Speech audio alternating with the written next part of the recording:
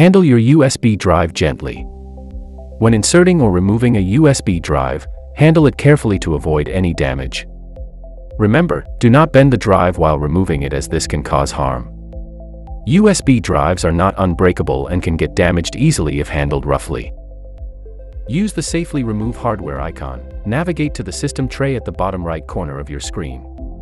Click on the Safely Remove Hardware and Eject Media icon.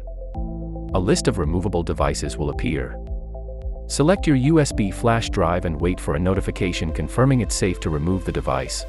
File Explorer method. Alternatively, open File Explorer, right-click on your USB drive under this PC or computer, and choose Eject. Wait for the confirmation before removing the drive. Regularly back up the data on your USB drive to another storage medium such as a computer or external hard drive. Make sure to store the backup in a secure location to protect your valuable information. Settings check, then, open File Explorer.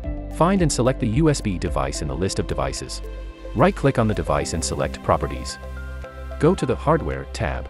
Select your USB device from the list of hardware and click on the Properties button. In the Properties window, navigate to the Policies tab.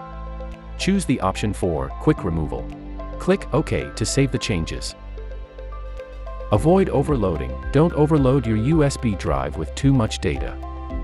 Keep some free space to reduce the risk of corruption. And remember, if you encounter issues with a damaged or unresponsive USB flash drive, contact PITS Global Data Recovery for professional USB flash drive data recovery services.